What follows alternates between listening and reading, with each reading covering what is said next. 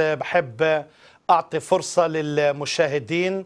أنت بتشاهد برنامج ليكن نور وحديثنا مع الأخت كاثرين شهوان من منطقة بيت جالة بيت لحم وكاثرين أصيبت بمرض السرطان مرض صعب جدا وحاولت تتعالج عدة مرات من بمستشفيات الضفة في فلسطين. ذهبت لمستشفيات إسرائيل في تل أبيب وفي تل أبيب حتى العمليات ما زبطتش والنتيجة أنه بتروا رجلها. وبعد هذا الوضع صار في زي أمل أنه في علاج جديد في ألمانيا. راحت لألمانيا على أساس تتعالج ويا للصدمة أنه رجعت من ألمانيا وعلى أساس أنه ما فيش علاج. لما رجعت مرة تانية على مستشفى في إسرائيل.